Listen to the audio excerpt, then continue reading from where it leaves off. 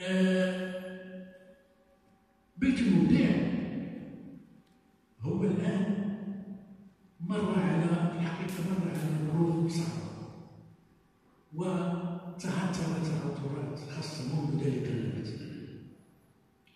ونشكر الله على أن هدانا إلى طريق سوي عسى وعسى أن يكون هذا البيت في المستوى المطلوب.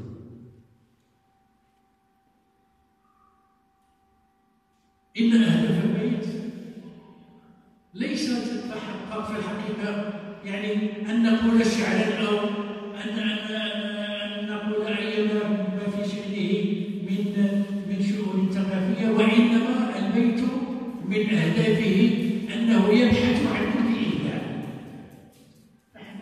فنحن سنعمل إن شاء الله للبحث عن إبداع فهناك إبداع في طلبات وهناك إبداع في أشخاص في فنان فنانين شعراء إلى إلى غير ذلك. هي هي ظروف خاصة في الحقيقة. ونحن بصدد وضع برنامج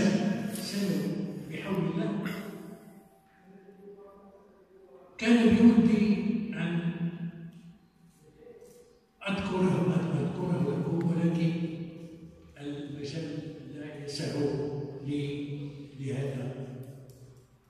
المجال